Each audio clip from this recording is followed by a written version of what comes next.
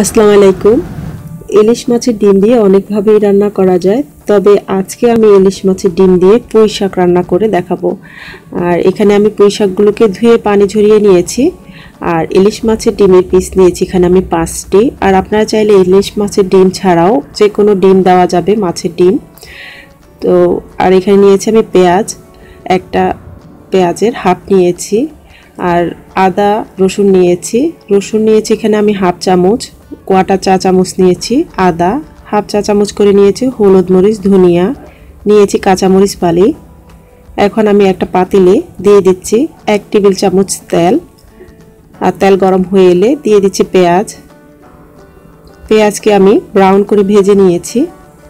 নিয়ে এখন এতে দিয়ে দিচ্ছি গুঁড়ো মশলা, আদা রসুন পেস্ট, কাঁচামরিচ ফালি দিয়ে সামান্য একটু পানি দিব যাতে গুঁড়ো মশলাগুলো পুড়ে না যায়। দিয়ে এখন আমি মিশিয়ে নিচ্ছি। নিয়ে এখন আমি এতে দিয়ে দিচ্ছি লবণ। স্বাদ অনুযায়ী লবণ দিয়ে দিচ্ছি।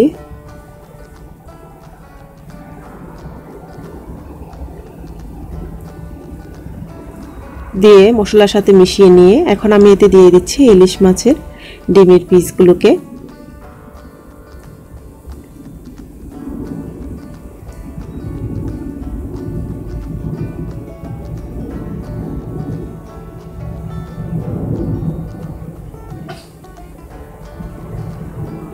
আর ডিমের পিসগুলোকে আপনারা চাইলে আস্ত রাখতে পারেন।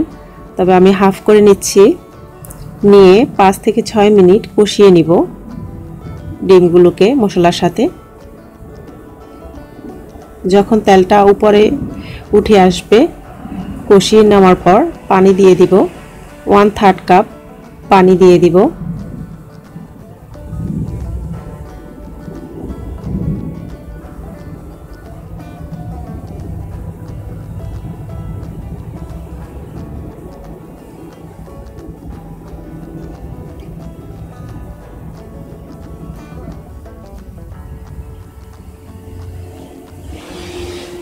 আর পানি দেওয়ার পর যখন ফুটে উঠবে, তখন আমি পুঁই শাকগুলোকে দিয়ে দিচ্ছি।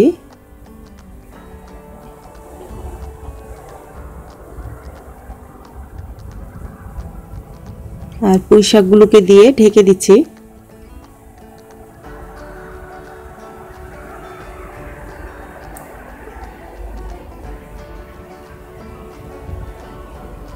আর কয়েকবার ঢাকনা খুলে আমি নেড়ে চেড়ে দিব।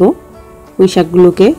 আর কোনো পানি দিতে হবে না, এই পানিতেই সিদ্ধ হয়ে যাবে, রান্না হয়ে যাবে।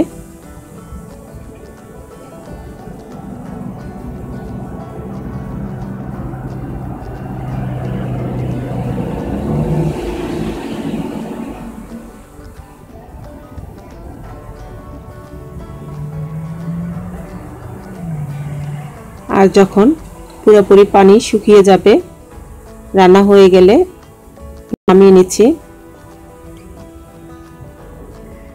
রান্না করে নিয়েছি। ভালো লাগলে আমার চ্যানেলের আরও রেসিপি পেতে পছন্দের আমার চ্যানেলটিকে সাবস্ক্রাইব করবেন। সবাই ভালো থাকুন। আল্লাহ হাফেজ।